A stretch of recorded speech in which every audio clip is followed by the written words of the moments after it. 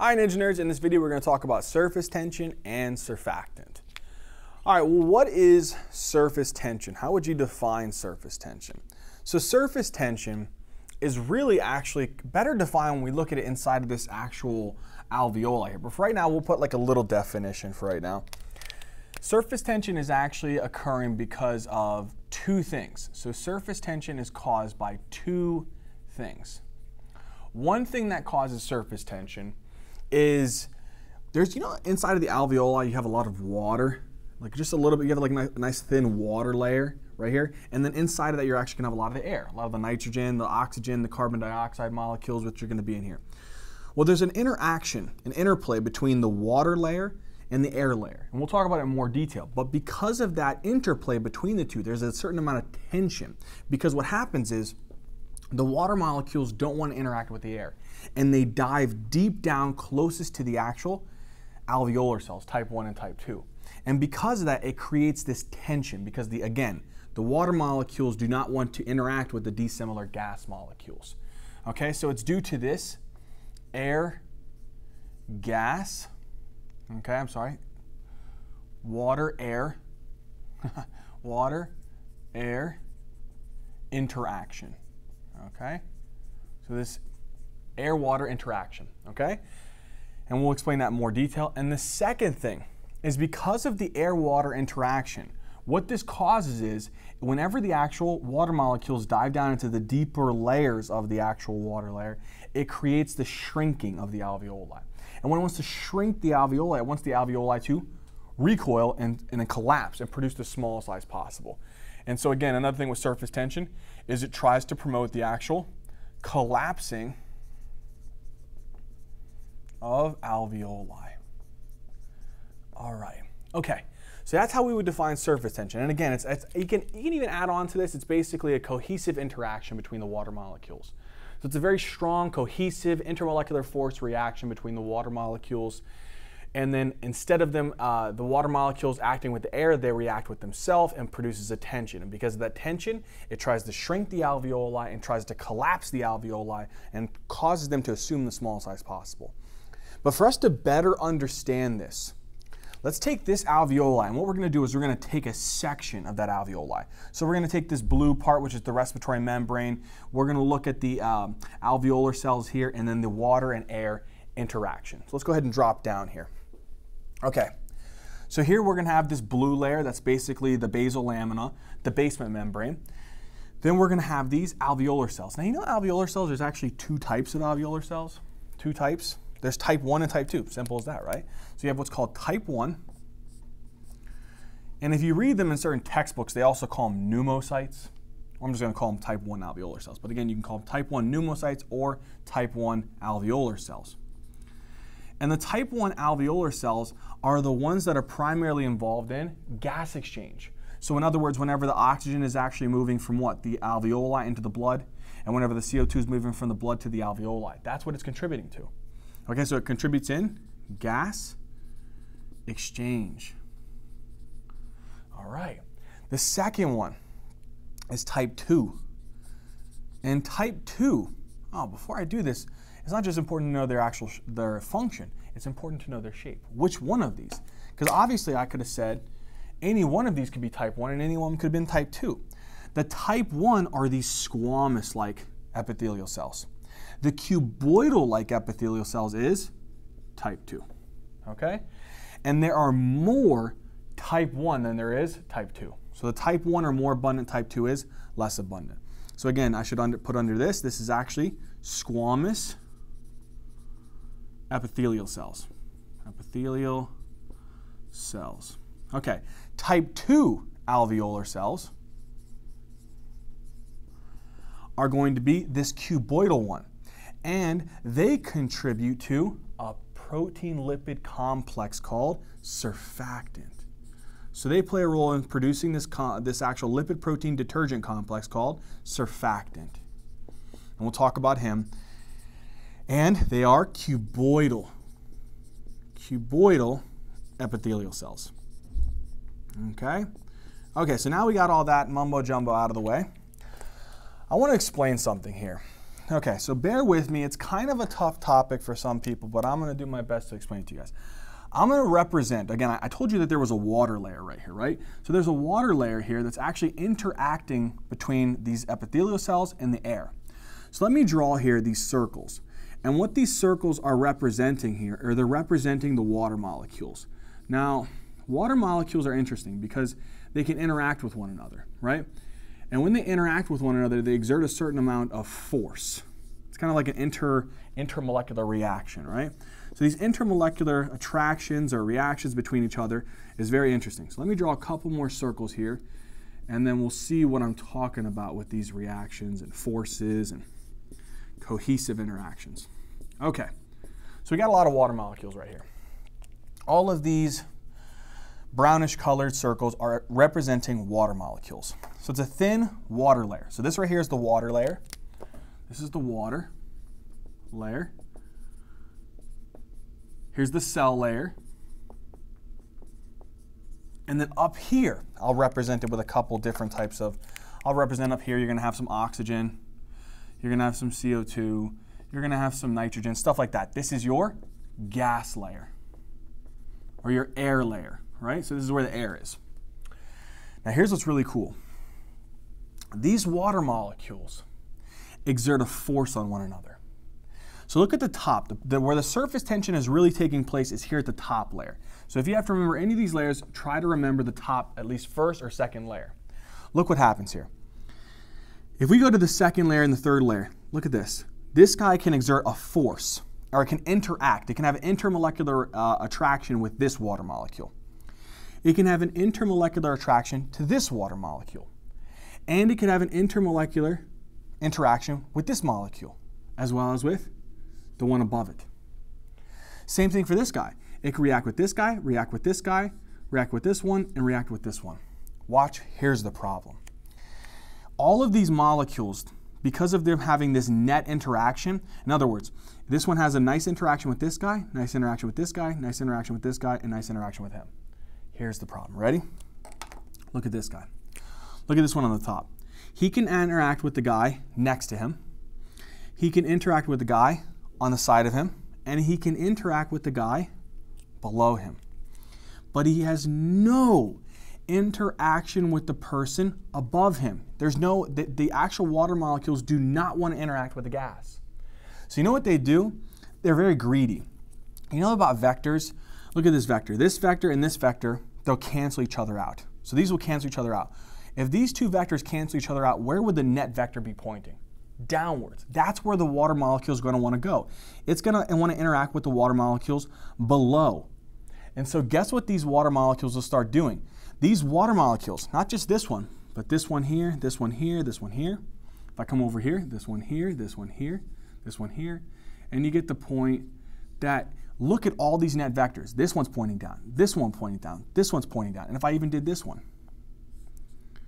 this one's pointing down these water molecules will start diving to the bottom. As these water molecules on the top and even some of the actual, maybe a layer below, as they start diving to the bottom, what happens to this layer? It gets thinner. As this layer gets thinner, so watch this. Let's say that I actually have this layer here. I take this layer, I put it up here, right? So now I have here, here's my air water interface. And again, this brown is supposed to represent my actual water molecules, right? And let's say originally, here was actually the water molecules, right? But what were the water molecules trying to do? The water molecules are trying to go and drop down to the lower layers. As they try to drop down to the lower layers, right? So as these water molecules start trying to drop down to the lower layers. So for example, let's say I take these water molecules. They're going to start diving down. Well, they're not going to be here. They're going to start trying to move downwards they're going to try to get closer to these guys. So as they start trying to get closer to these guys, they try to pull the water layer down. Same thing with this one over here. These would try to pull the water layer down. So as they try trying to pull this water layer down, what's happening? It's actually shrinking. It's actually shrinking and getting smaller and smaller and smaller. It's trying to keep dropping and going down to the bottom layer. As these water molecules keep trying to go down and drop to the bottom layer, it makes this layer thinner. Okay? As this layer gets thinner, it actually starts causing the alveoli to develop some type of tension. So as this layer gets thinner, the alveoli starts actually collapsing. And as the alveoli starts collapsing, it starts trying to push the air out. Okay, so let me explain one more time. Because these water molecules right here, they have an interaction to the side of them, an interaction to the other side, and an interaction below, but nothing to interact with above. This will not allow for the alveoli to expand because the water layer can't go up. Okay, it has nothing to interact with. So because of that, because the water does not want to interact with the gases, it goes deeper down into the bulk layers of the water, down here to the bottom layers. As it drops down to the lower layers, it makes this layer thinner. As the layer becomes thinner, it creates a specific type of tension, and that tension is called surface tension. And as that tension starts increasing, it tries to pull on the alveoli, tries to make the alveoli collapse. Now, you know, there's a guy, his name was uh, Laplace, and he was working on spheres, and he came up with this concept.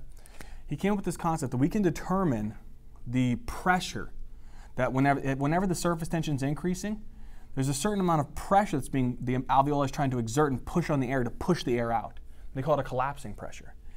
He devised this formula which says uh, the change in pressure, you know, this is Laplace law here, change in pressure is equal to 2 times the tension. And you know what this tension is? Surface tension. Let's write that next to it. This is specifically the surface tension. And then this is going to be over what? This will be specifically over radius. And we'll represent radius as r. Okay? So P is right here is supposed to represent pressure. Okay. But specifically, it's a type of pressure. What do we say?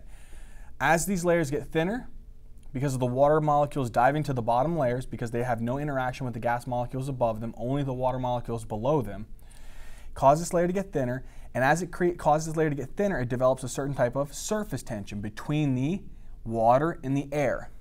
As it does that, the alveoli starts trying to collapse. As it tries to collapse, it tries to push air out. That's the whole desire, to push air out. When it does that, the pressure by which it pushes the air out is this pressure. So it's called a collapsing pressure. Okay? So we technically call it a collapsing pressure. Okay, so let's say, let's actually explain this a little bit more then. Let's see how tension can affect this collapsing of the pressure. So for example, let's say that I take this formula and I form two different formulas. So I put P here and I put two times the tension over the radius for this one. And I put over here in a different color. I put this one in this maroonish color. I put pressure equals two times the tension divided by the radius. So in this situation, if the surface tension increases, what can we devise from this then? If the surface tension increases, okay, because of the air-water interaction. Okay, because of the air-water interaction, because the water molecules want to dive to the bottom layer, it creates a tension. What is that going to do to the pressure? So an increase in the actual surface tension, increases the collapsing pressure of the alveoli. Increases the collapsing pressure of alveoli. What did we say? Come here surface tension. It wants to collapse the alveoli.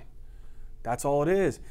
And if we understand that what is surface tension is due to the air-water interaction, and as the water molecules dive to the bottom layer because there's nothing for them to exert their intermolecular force or, or inter interaction above, they're going to drop down, make the layer thinner, which is going to create a tension. That tension can cause the alveoli to collapse. And then in the opposite, if you decrease the tension, if you, by some situation, decrease the tension, and we'll talk about how we decrease the tension, our body has a beautiful way of doing that. Uh, it's called surfactant. If you have the surface tension decreased, what is that going to do? Okay, well, think about the formula. If you decrease this number, what will it do to the, this number? It'll decrease the pressure. So it'll actually decrease the collapsing pressure. So tension and pressure, this collapsing pressure, are directly proportional, right? Of the alveoli. Sweet deal. And again, whose law was this? This was Laplace law of a sphere. But in this case, we're talking about the alveoli. Okay, now, you know what, since we're here, let's see how the radius is affected by it. And that's why we have this diagram. Okay, let's say for some situation, um, you have this alveoli, and let's look at the difference. Look at this one and look at this one. Let's say that this alveoli, by some uh, reason, isn't getting properly inflated because it has a lot of mucus buildup. So let's say that this is a mucus plug right here. That'd be pretty nasty, but you got a big old mucus plug here. And this mucus plug is occluding or it's uh, blocking some of the airflow down into this area. So if it's blocking the airflow, so air is coming here, so flow, so airflow. As the air is flowing, it's going to want to come down here, but there's going to be a lot of uh, friction and resistance, right? So this area will become very underinflated. It's going to be not very, very well inflated. So it's going to be, you know how they call ventilated, if we say ventilated, and we actually say it's below the normal ventilation, we say it's hypoventilated. So we can say that this alveoli is hypoventilated. And let's say that this alveoli, it's getting a decent amount of air. Okay, it's getting a decent amount of air. So this one, let's say for right now, it's normally ventilated, just for right now. And then we'll see something that's really interesting here. Okay, so say this one's having this mucus plug and this one's normally, normally ventilated. Watch what can happen here. Look at the radius difference here. Look at the radius difference. Look at from this point here. So you know how you take, you know, take radius, you take half of the diameter. So if we come from here to this point here, that's our radius. So the radius here, and then I come from here and I take the radius here. This one must have a much larger radius, right? Let's just say, for example, this radius is two centimeters, even though that's not, it's going to be much smaller than that, but anyway, this is going to be two, I'm sorry, this should be, let's make this one bigger, let's make it two times that, let's make it four centimeters. Let's apply Laplace's law to this. So Laplace's law says that pressure, the collapsing pressure, is equal to two times the tension divided by the radius. If this, in this situation, and let's do this in a different color, let's do this one in this blue. So pressure is equal to 2 times the tension divided by the radius. In this situation here, the radius is very low because it's underventilated. If the radius is very, very low, what does that do to the collapsing pressure? It increases the collapsing pressure. So the decrease in the radius is going to do what? The decrease in the radius of this alveoli is going to increase the collapsing pressure of the alveoli. Oh, that is not good. Thank goodness our body has different ways of dealing with this, you know, and I'll explain it in just a second. But just for the heck of it, look at this radius. Let's say that this radius is a little bit larger. All right, it's a little bit larger. Okay? And let's let's say for a second, normally our body doesn't do this, but it, it, usually we have ways of protecting this. If this radius drops down really low and the collapsing pressure of the alveoli becomes too high, what would it do to this alveoli? Collapse it. If it collapses this alveoli, where would the air go? It would go over into this guy. And as the air starts flowing, so normal air is coming this way, but then we add in some extra air from this alveoli because this alveoli collapses. So if this alveoli collapses, it provides some extra air to flow over here. So it was normally ventilated but then it gets extra air from this collapsed alveoli. What would happen to this alveoli? It would become above ventilation, hyperventilated, right? So this would become hyperventilated. All right. Well, what happens to the radius then? Well, let's say that the radius even increased. Let's say it was originally four, and because of the alveoli uh, emptying some of his actual air in here, let's say it went up to like five or something like that. Let's say not all the air went over. And so it goes up to about five centimeters. Okay? If that's the case, then we know that the radius is really, really what? Really, really high. If the radius of this is really, really high, what is that going to do to the actual collapsing pressure? It's going to decrease the collapsing pressure. So an actual increase in the radius does what to the collapsing pressure? Increase in the radius of the alveoli decreases the collapsing pressure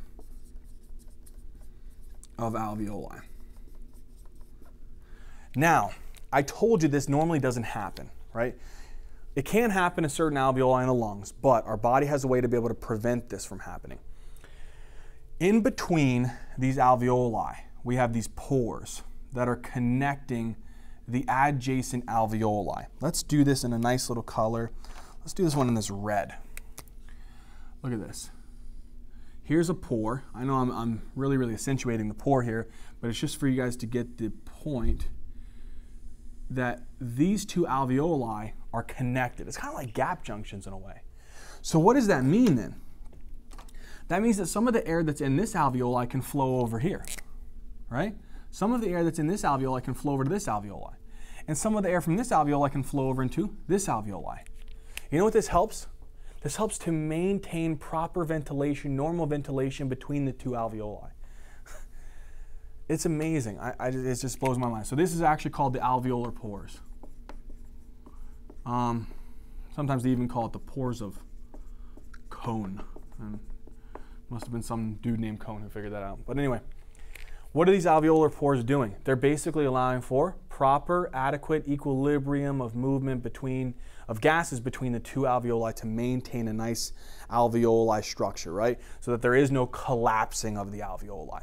So that's one thing. Another thing that's also preventing this from happening is surfactant, and we'll talk about that. One more thing though, before we talk about surfactant. Look at this. So if this guy is getting underventilated, if you guys remember from the ventilation perfusion coupling video, look at this. Let's do this one in this pink marker here.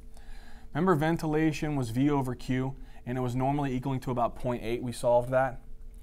What happened, what's happening to the ventilation here? It's decreasing.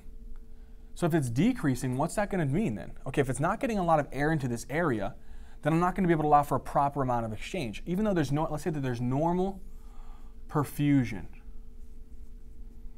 which is representing as our Q. Normal perfusion coming through here. Normal amount of blood flow, but this thing is it's underventilated. It's not going to be able to allow for a proper gas exchange. There's not going to be enough oxygen to exchange. So what's going to happen here? There's going to be an inadequate oxygen exchange in this situation. So inadequate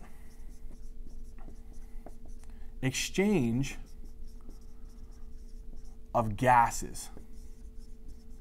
This is super important because if you can't exchange gases, you can't get oxygen into the blood and you can't get CO2 across into the lungs to expire, which can lead to hypoxia and it can lead to maybe even respiratory acidosis. So, very uh, serious situation. Obviously, what would happen if this is hypoventilated and you this is decreasing, this number is decreasing. What do I have to do to fix it? Remember what we said? We would actually decrease the perfusion. So, what would happen to the capillaries here? They would constrict, if you guys remember. Opposite scenario, if this is hyperventilated, apply the formula. V over Q is equal to 0.8. What's happening in this one? It's overventilated. If it's overventilated, then what's going to happen? Let's assume here that there is normal perfusion originally. We always have to think about things before everything's being compensated. But normal perfusion coming through here. So the Q isn't changing yet. But if it's being hyperventilated, there's too much oxygen in here to be able to deliver to the actual blood. There's not enough blood here to be, become adequately oxygenated. So if that's the case then, because there's not enough red blood cells coming through this area to get oxygenated, they'll still get oxygenated, but there's still going to be a lot of air here in the lungs. So they, it gets wasted. So because of this, there's a lot of air being wasted. okay, because of this situation. Whereas in this one, if there's an inadequate exchange of gases because there's not going to be enough oxygen and CO2 moving across, so in this situation, there would be a waste of what? The blood coming through that area. The blood's going to get wasted because there's going to be no use for it. So again, that's why, just to clarify here, again, if the ventilation is low, what does that mean for the amount of oxygen that's going to be in this alveoli? That means that the partial pressure of oxygen is going to be low. So if you want if you want blood to come here, here it's not going to get properly ventilated. So I want to decrease my perfusion to be able to bring it back to normal, right? So that's why you would actually do what? You would constrict these capillaries. Because if blood flow came through here, it would be a waste of the blood. You don't want to waste the blood. You want to send it to areas where it's properly ventilated so it can actually get enough oxygen. Okay, so in this situation when the partial pressure is low, constrict those pulmonary capillaries and send it away from that area. But again, that can cause a lot of problems in the body. And in the opposite of this situation, it's hyperventilated. So what does that mean for the partial pressure of oxygen in this area? That means it's high. So what are you going to want to do to the actual capillaries here? We said if the ventilation is high, what do you got to do to the perfusion? increase the perfusion. So what would you do to the capillaries? You would dilate the capillaries. And as you dilate them, you'd have more blood flow coming in here so that the air, the extra air that you have in here wouldn't go wasted. Okay? All right, that takes care of that thing. Now, one last thing before we talk about surfactant. There's this really interesting thing that happens. If, remember how we said that this alveoli, if the pressure was really, really high, it would collapse theoretically, right? But we do have these mechanisms to try to prevent it, but it still can happen. If this alveoli collapses because of this increase in surface tension, you know what happens? As it collapses, it, it creates like a vacuum, like a vacuum, and it pulls fluid. You know what? What's the most abundant fluid inside of the blood plasma? Water, right?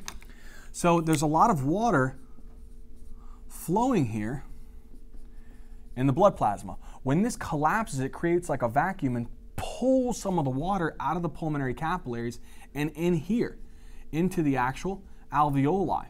What does that do? As the water is getting pulled into this alveoli, you know what it's going to do? It's going to put water in here in the alveoli, which can affect gas exchange.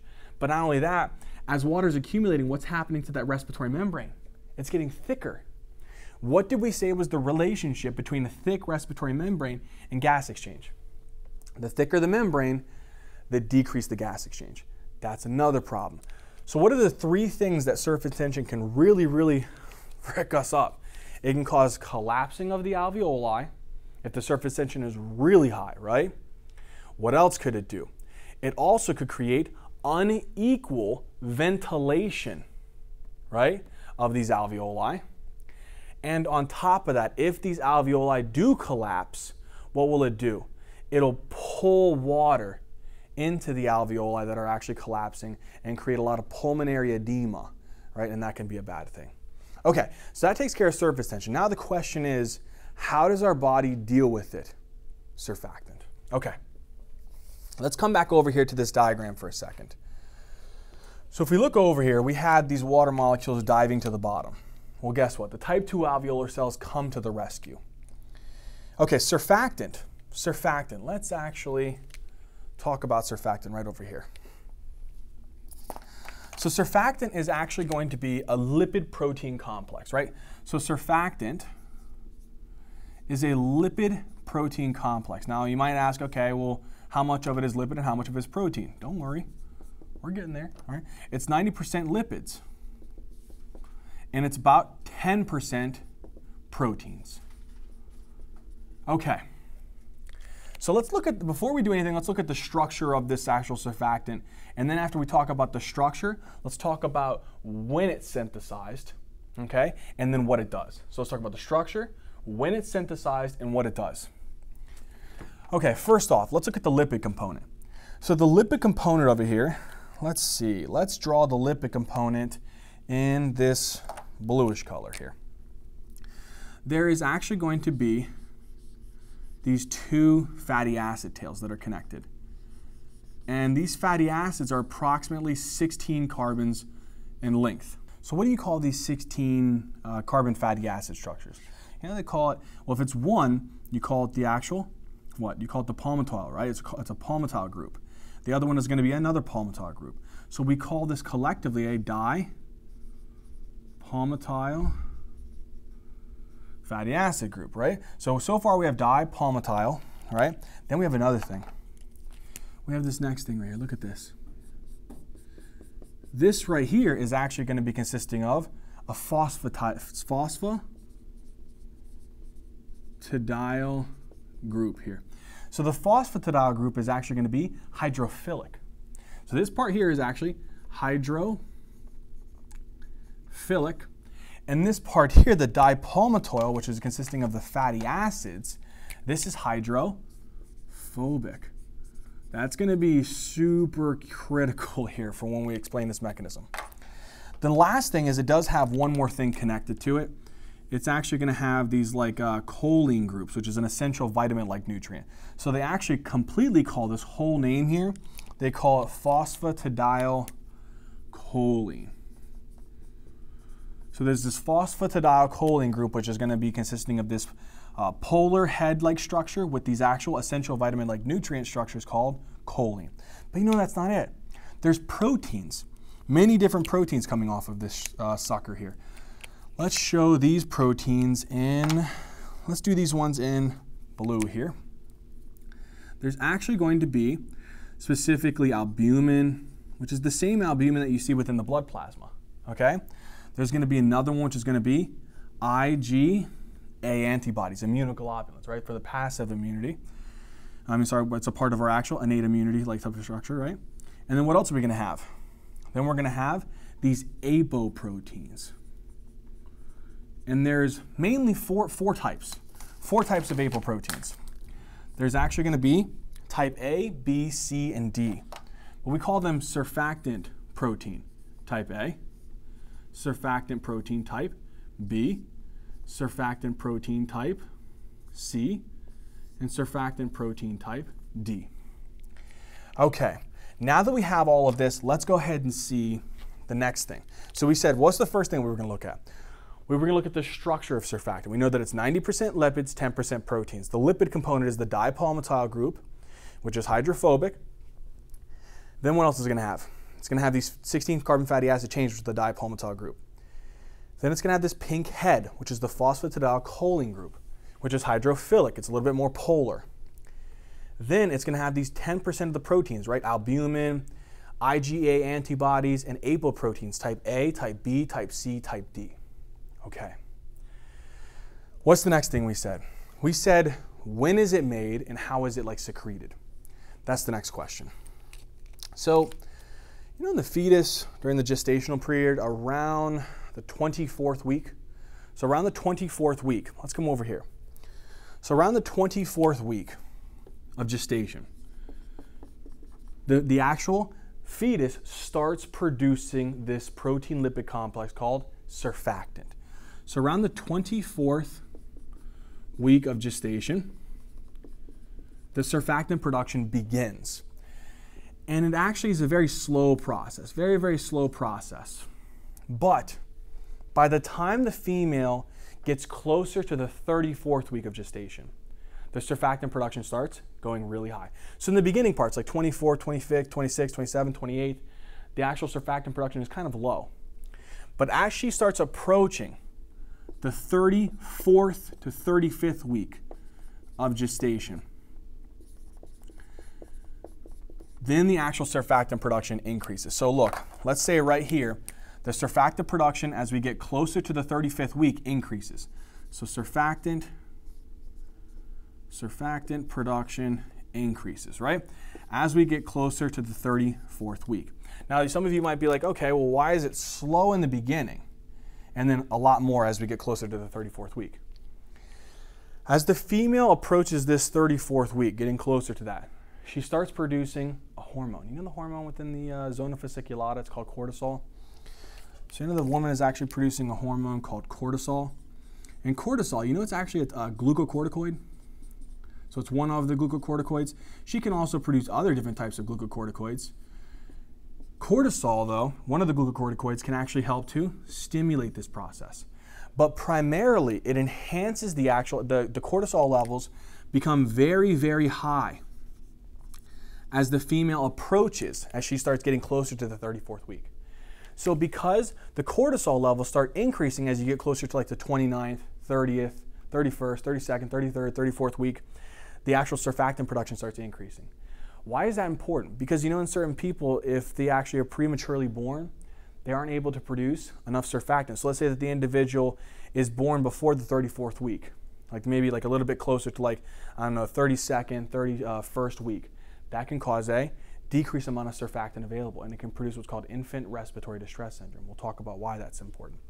But again, I want you to understand when it's produced. It's produced during the actual gestational period and it's dependent upon hormone levels like cortisol. Now, when this is actually made, it's made by the type 2 alveolar cells. So let's see how it's actually secreted. So here's our type 2 alveolar cells over here. These type 2 alveolar cells, when they start making it, they store them inside of these actual like large globules inside of our actual uh, alveolar cells. And when they're stored in these like, look at this, I'm gonna draw like some circles here. they're like these big, big globules of surfactant. This whole big globules of surfactant, they look like big old bodies. You know what that's called? That's called lamellar bodies. And then what happens is, whenever the actual type 2 alveolar cells exocytose the actual uh, surfactant, but specifically it's in this form called lamellar bodies, it comes out in like this tubular-like fashion. And when it comes out in this tubular fashion, this tubular-like structure here is called tubular myelin. So what is this here structure called? It's called tubular myelin.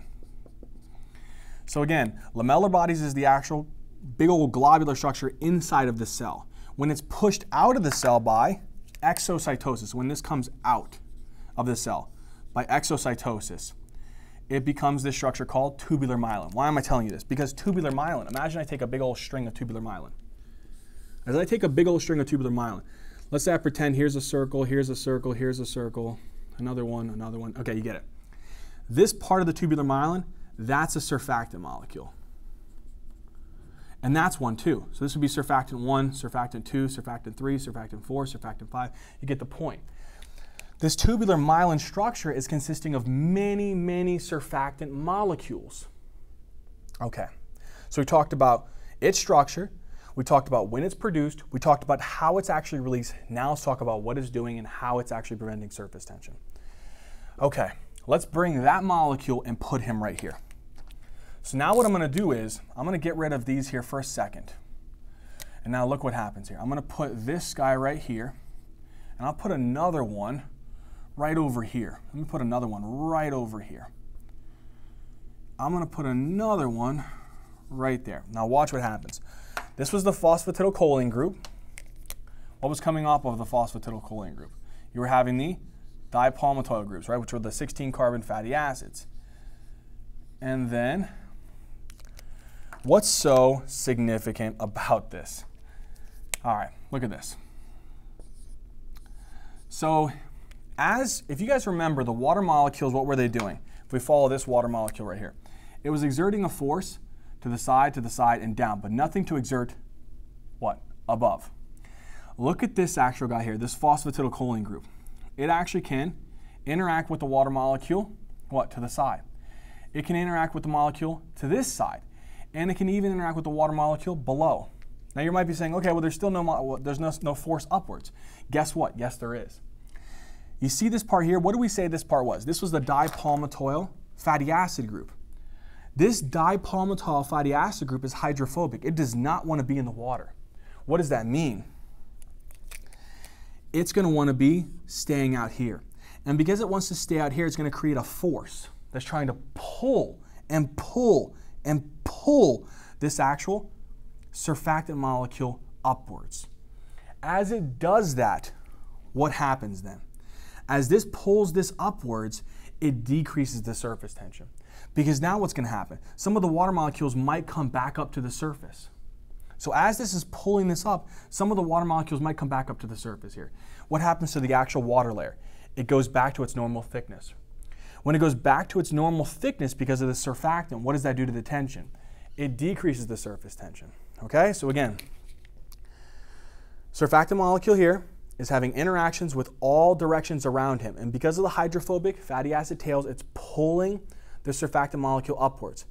As it does that, some of these water molecules here on the bottom bulk layers go upwards and draw themselves upwards to interact with the actual surfactant molecules. As that does that, what's it going to do to the cohesive interactions with all of these other water molecules? It's going to decrease the cohesiveness. It's going to break up those intermolecular forces, and it's going to allow for the water molecules to move up to the top and allow for this actual water layer to expand. When the water layer expands, the surface tension decreases. Okay. Now, now that we know that, let's see really quickly here how this surfactant eliminates all of these problems. Okay. Well, let's look at this situation right here first. Surfactant was produced. What was the purpose of surfactant? To decrease surface tension. If it decreases the surface tension, what's going to happen here? Actually, wait, we already have it right over here. We already have it right over here. Look, the surface, the actual surface tension decrease. What causes this surface tension to decrease? surfactant. Okay, and why? Because surfactant was actually going to be decreasing the cohesiveness of the water molecules and trying to pull the actual water molecules from the bottom upwards to decrease the surface tension and allow for the alveoli to expand. So it wants to decrease the collapsing pressure of the alveoli. Okay, now let's see how this affects the radius. Okay, this one's a little bit more tricky. Let me do this right over here for a second. Let me make two small alveoli down here in the bottom. Let me get this out of the way here. Okay? Look at this. Let's say here, I have this alveoli here with a small radius, and I have this alveoli over here with a really big radius.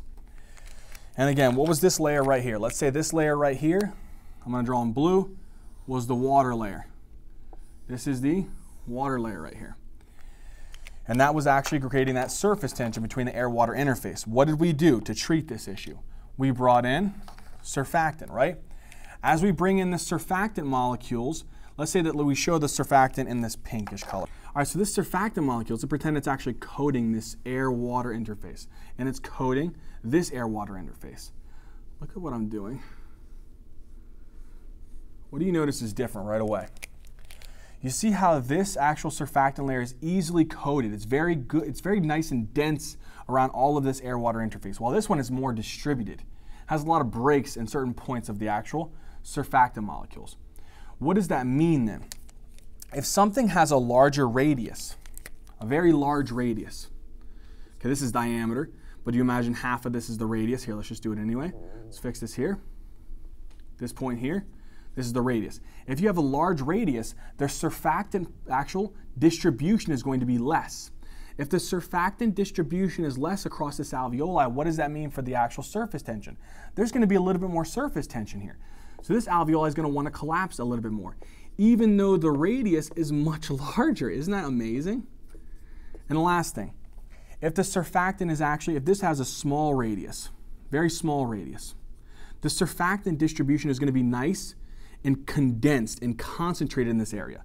So if that's the case, the, the actual surface tension is going to decrease. And then if you look at this situation now, here they had a decrease in radius, right? If there was a decrease in the radius, what did that do? Decrease in the radius increased the collapsing pressure. Well, if you decrease the radius, how can we fix that? What did we say? Surface tension, right? We actually would do what? we would decrease the surface tension. That's what we said. We would allow for the alveoli to expand, and that would help to decrease this collapsing pressure. And then what do we say with this last one? We said here the radius was really, really big. And when the radius is really big, what does that want to do to the pressure? It decreases the collapsing pressure. And whenever you try to decrease this collapsing pressure, that's great. But let's keep everything even. We want equal alveoli. So how does that happen? What do we do to the surface tension? What do we do? We increase the surface tension because it's not going to be, surfactant is not evenly distributed. And because of that, surface tension increases. What does that do to the actual collapsing pressure? It brings it up a little bit, but tries to bring both of these two into homeostasis, equal amount. So there's now, we don't want this one to collapse and this one not to collapse. We want them to equally have this equal flow of gases between the two. Okay? Now, that is how the surfactant is working in this situation. If this individual is not able to produce surfactant, you can imagine how hard it would be for these alveoli to expand. If this individual, that, that little infant who was born prematurely and wasn't able to produce enough surfactant, if that infant was born early, she doesn't have this surfactant. If she doesn't have this surfactant, what's the whole thing that's going to happen? She doesn't have surfactant, there's going to be a lot of surface tension. What do we say surface tension would do? It would want to collapse the alveoli, it would create unequal alveoli, and it would want to pull water into the alveoli. Right? That's the whole purpose. Surfactant is trying to present, prevent all of those things. If the baby is born prematurely, she doesn't have surfactant, and all of those things can happen. And in order for this baby to breathe, they have to put her onto a, uh, a child on a mechanical ventilator to be able to push air into the baby so that the baby can actually inflate the alveoli because the alveoli constantly want to collapse. And when the baby is born, know when a baby is born, uh, they cut the umbilical cord, and then there's decrease in oxygen levels inside of the baby, and that triggers hypoxia, activates the respiratory centers within inside of the baby, and triggers the baby to do what? Activate some of the muscles, right? And when the muscles are activated, what happens? They contract and try to bring air in. What is that called? It's called the first cry. Well, in this individual, it's still going to do the same thing. They'll cut the umbilical cord if they have infant respiratory distress syndrome. They'll cut the cord. They'll still have hypoxia. It'll trigger the actual nervous system to trigger inspiration. But when they come to inspire, the alveoli don't want to open because they have to have so much, it takes so much energy and so much work to open up those alveoli. The babies have a hard time breathing and they go into distress and they have to put them on a ventilator, right? Last thing I want to mention here is these apoproteins. Apoprotein A and apoprotein D are really important because what they help to do is they play a role in your um, opsonization reactions. So they play a role in opsonization. This one here, as well as D. And if you guys remember what opsonization is, it's where you tag, these proteins could tag specific types of foreign matter and trigger them for phagocytosis. So that's pretty cool. So there's a little bit of actual immunity component. Whereas B and C, they play a role in the distribution, the rate of the distribution and spread of the actual surfactant. So they play a role in the spread, the rate of which the surfactant is spread. So spreading of surfactant. All right, Ninja Nerds, we talked about a lot of information in this video. I hope you guys enjoyed it. I hope it made sense. I, I really, really do. Um, if it did, please hit the like button, comment down in the comment section, hit that subscribe button. All right, Ninja Nerds, as always, until next time.